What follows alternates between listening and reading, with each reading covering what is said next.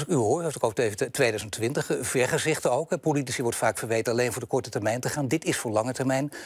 Ambieert u, want je bent nu al bezig hè, met volgende verkiezingen... ambieert u bijvoorbeeld deze post? U denkt, ik begin erin te groeien, ik vind het leuk. En zeker het onderwijs vindt u mooi. U wil erin verder gaan?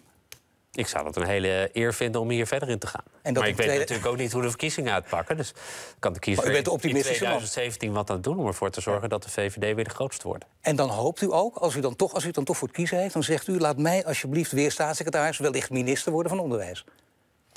Ik vind onderwijs een hele eervolle plek in het kabinet. En het mooie is dat je echt kan bouwen aan beter onderwijs. We hebben de afgelopen jaren niet voor niets met z'n allen gezegd... Hè.